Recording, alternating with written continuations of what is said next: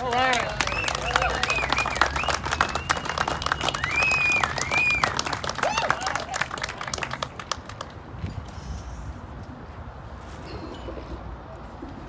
Well, the, the bronze, when they asked me if I could do another one of Dan's, as opposed to the older one, the, the molded wore out. I, I was glad to do it because not only is Dan a friend of mine for a long time, but so is Hank and Lori.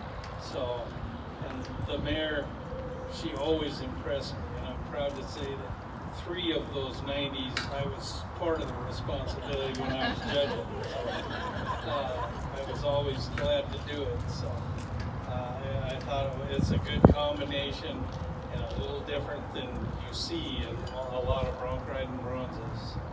And Dan's definitely doing what he did best. So uh, I, I got to tell a quick story. First time I met Dan, I doubt he can even remember. Tracy Mikes and I are judging the pro rodeo in Butte, Montana, at the old arena down in the middle of town. This kid pulls in. I mean, he's a little guy. He's got big black horn rimmed glasses on, and oh, we, you know, he, he comes out. He, he has one of Reg's big bay monsters, and this horse makes a nice circle around to the left, peels the bark off of this horse. And so, uh, he's like 86 or 87, and that's back when you had to do it.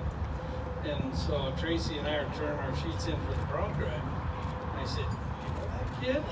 No. Neither one of us had ever seen him or heard of him.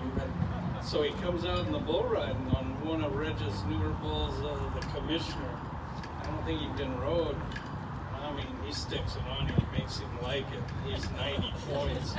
So as he's getting his check, Tracy and I are in the rodeo office, and he comes to get his checks.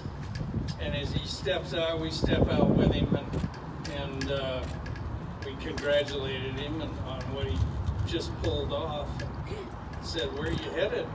He off two little amateur we both went, "Oh, you ride way too good to be going to those. You need to go where the money is." So Tracy.